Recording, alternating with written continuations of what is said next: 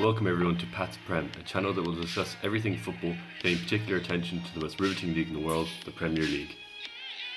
Today, for my very first video, I'll be exploring the nature of Chelsea's extravagant and arguably impulsive purchase of Borussia Dortmund's 20-year-old winger, Christian Pulisic. The Chelsea board of directors has suffered heavy criticism following this financial move for multiple reasons. So, why did Chelsea splash upwards of £57 million on Christian Pulisic? What does this mean for Chelsea Youth Academy product Callum Hudson-Odoi? And finally, can this purchase truly be justified? Let's begin with what Chelsea was thinking in signing Pulisic.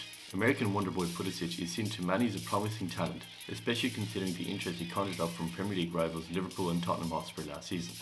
The most obvious reason as to why he was snatched up is because Chelsea are desperate to find a long-term replacement for Belgian ace Eden Hazard, who currently sits on 10 goals and 9 assists after 21 games this season, in which he appeared 20 times, 3 times as a sub. The Belgian is 28 on the 7th of January and is constantly linked to a big move to European giants Real Madrid. Christian Pulisic, on the other hand, is just 20 years old and has previously expressed his burning desire to appear in the Premier League, suggesting that he won't treat the club as a gateway to bigger things. Furthermore, his ability to work in multiple positions, including winger, forward, or cam, is reminiscent of Hazard's days.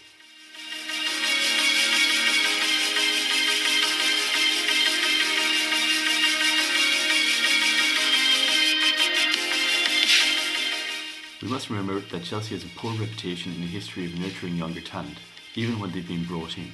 Here's some of those more recent failures featuring the likes of Romelu Lukaku, De Bruyne, Mo Salah and Bakayoko. But what makes Pulisic such a special player? Well, behind the numerous YouTube compilations of his skills, goals and assists, Pulisic can boast some impressive stats given his age.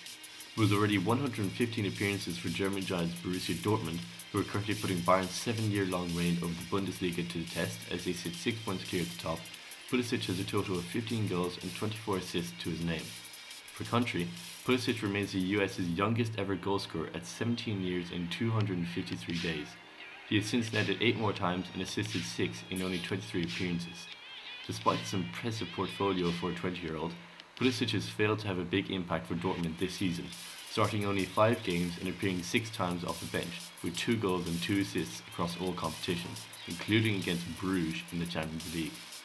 Though he is still very young and shows promising talents, many will hold that his personal achievements do not match his hefty price tag.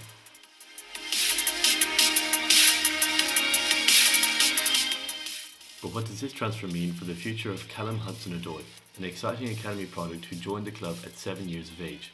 The 18-year-old boy has begun to flourish under new head Maurizio Sarri, who speaks of the boy as potentially one of Europe's best players. He already has two Europa League goals to his name in four appearances and has managed to burst through the previously thought impenetrable ceilings of the Chelsea first team. With the entry of Pulisic at the end of the season, space will be tightened in an already strong and large squad. Thus, Hudson-Odoi may choose to look elsewhere for a consistent playtime. Fortunately for himself, there is no lack of interest for him, with Bayern Munich proving the most likely option for him to retreat to. The German supergiants have already seen multiple offers for the boy turned down, ranging from 15 to 25 million pounds. However, since Chelsea's purchase of Pulisic, Bayern has stepped up their offer, proposing 30 million pounds plus add-ons to secure Hudson-Odoi's signature. If Chelsea accepts its offer, which due to financial fair play regulations is considered more and more rational, they could be losing out on not only what is considered a huge talent, but what is increasingly valuable to all clubs, homegrown talent, which is required for certain European competition regulations. These factors put Pulisic's signing in a whole new context. Although he is a promising young man, his achievements thus far in his career truly justify the money lost on his transfer. In my opinion, Chelsea should never have made this deal. Instead, the club should have faith in the ability of Hudson-Odoi, who may well go on to surpass the likes of Pulisic. This is likely to turn out as yet another tale of Chelsea's broken youth academy system. Perhaps the club should have conferred with Sarri on this one, who claims to have known nothing about this transfer until it was a done deal. Well that's it for today's video. Let me know what you think in the comment section below, whether you think this was a good move for Chelsea or not, and please leave some comments as to how you think I can improve this channel and what I should talk about next. Thanks a lot, and goodbye.